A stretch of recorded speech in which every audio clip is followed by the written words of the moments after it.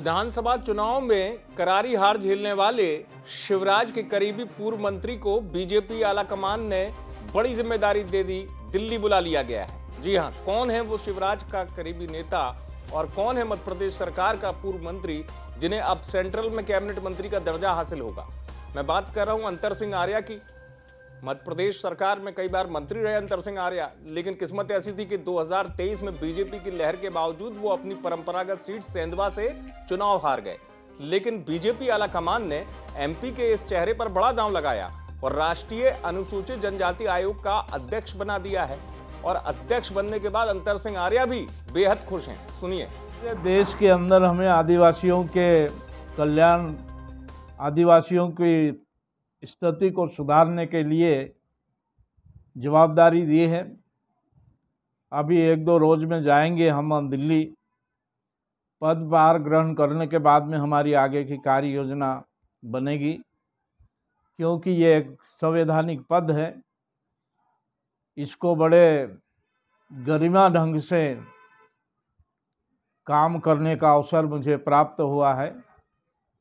और मेरी हमेशा मध्य प्रदेश में जितने भी वर्ष तक मैं राजनीति का के अंदर में जो काम किया, चाहे क्षेत्र का मामला हो, प्रदेश का मामला हो, कि जनता का काम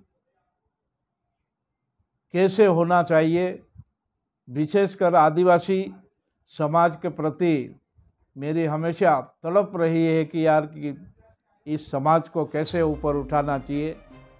तो एक बड़ी ज़िम्मेदारी मिल गई है अंतर सिंह आर्या को, वो भी विधानसभा चुनाव हारने के बाद आपको बता दूँ कि बड़वानी की सेंधवा सीट पर अंतर सिंह आर्य और उनके परिवार का काफ़ी प्रभाव रहा है। पहले पिताजी कई बार चुनाव जीतते रहे और यहाँ तक कि जीत की हैट्रिक अंतर सिंह आर्या, सोचिए कि आप लगातार पंद्रह साल एक दौर ऐसा आया, विधायक रहे, कई बार चुनाव जीता सेंधवा से, लेकिन इस बार 2023 में बीजेपी की लहर के बाद चुनाव हार गए थे मध्य प्रदेश सरकार में मंत्री रहे।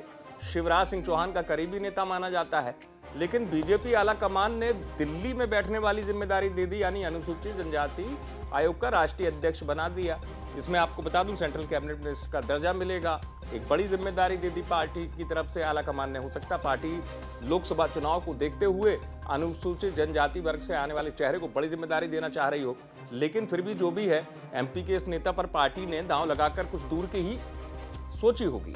कुछ निर्णय लिया होगा पार्टी ने क्योंकि होता यह है कि विधानसभा चुनाव हारने के बाद आ, ऐसा नहीं होता कि पार्टी तुरंत इतनी बड़ी ज़िम्मेदारी दे दे लेकिन इनको दी गई।